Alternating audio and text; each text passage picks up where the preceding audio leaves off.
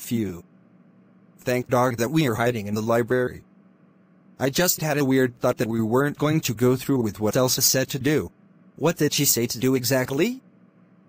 She did say that we should stay here till she gets to Trump's house to confront Phil about the fake outbreak. I don't know if she's going to make it out of there alive. I bet that he's going to inject her like a maniac would.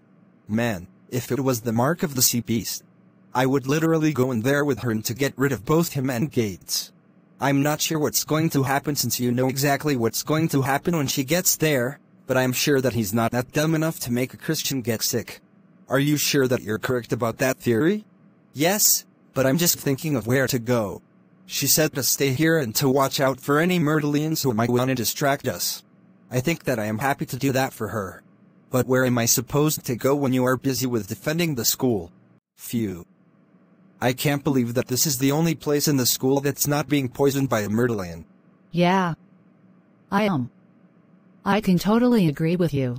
No need to be scared. I'm still here to protect you. Son, what's wrong with that demon kid? Hasn't he lost his mind with Phil Gates? Probably, but I'm not sure why he even bothered to mess with us. Every botanist of Pollywood has always been jealous of us, even since the fall of the Merville.